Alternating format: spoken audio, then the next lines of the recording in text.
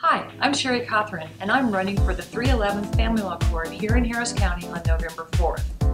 I am a board certified family law lawyer, which means I'm an expert in family law.